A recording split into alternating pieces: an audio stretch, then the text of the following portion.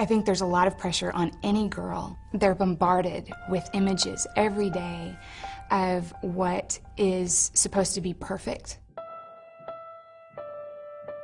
I just felt awful about myself. I felt like if I couldn't control what I was eating, I didn't have anything else that I could control. I grew up in, in a small town. We had two things. We had football and the Miss Broken Bow pageant.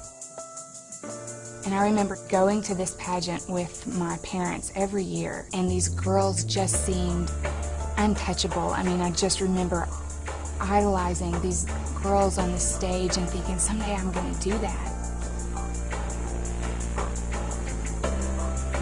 My senior year, it was my last shot. I was expected to win it. On Monday morning, on my way to school, I would buy five apples. And I would put them in my locker, and at lunchtime, I sit in a classroom by myself while everyone else was eating lunch. I wasn't perfect, and I needed to be perfect, and for months, that is all that I ate. I thought other people perceived us as perfect, and I think that's the image that we tried to portray. And so we didn't talk about problems, not to other people. I grew up in a very, very strict home, very controlling, high expectations. If anyone is going to put us on the map, it's going to be Ashley. I went on to win the pageant. I was just trying so hard to please. Every time I messed up and ate something I shouldn't eat, huge amounts of guilt. Is that what all of this was for?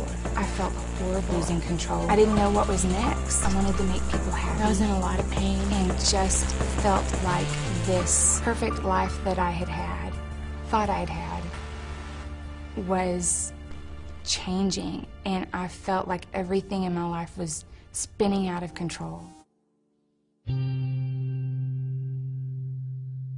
I hated myself. I was getting tired of living like that, tired of not eating. I finally decided to let myself eat something. And I remember sitting in my apartment and um, I got a box of cereal. Before I knew it, I had eaten the whole box. What did I just do? I felt desperate. I couldn't fathom that food staying in my body. I went to the bathroom and tried to make myself throw up. I couldn't do it. I put on my shoes and I took off running. And I just ran and ran and ran until I felt like maybe I had burned it off. I came back to my apartment and I still just was so angry with myself. I had a box of laxatives and and took what was left. I hated myself because I felt like that was the one thing in my life that I was good at, that I could control. And I'd just blown it.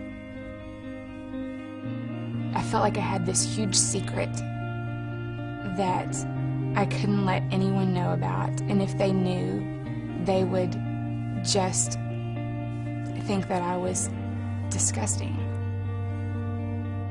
I sat in my apartment and closed the blinds and the windows and turned off all the lights, locked the doors, and I just sat in my apartment by myself. I didn't know how to be normal. I didn't know how to have a normal relationship with food. Um, I didn't know how to just eat something and enjoy it. And I was miserable. When I was at that low point, God just guided me to pick up my Bible. It fell open to Romans 14. And my eyes went to verses 7 and 8. For we're not our own masters when we live and when we die. Um, when we live, we live to please the Lord and when we die, we go to be with the Lord. So in life and death, we belong to the Lord. I knew my body was a temple. I knew um, that I was not supposed to be vain. But it wasn't about that. Those were outward symptoms of it. And what I needed was for him to just grab me and say, you know, I've got this. I've got you, and I'm in control, and you don't have to be anymore. I wish I could say that it was so easy to walk away from that life and that I felt completely normal. I still struggled a lot for a lot of years, but he made it easier every day until I finally got to the point um, where I, I felt like I could say, I'm, I'm healthy, I'm okay.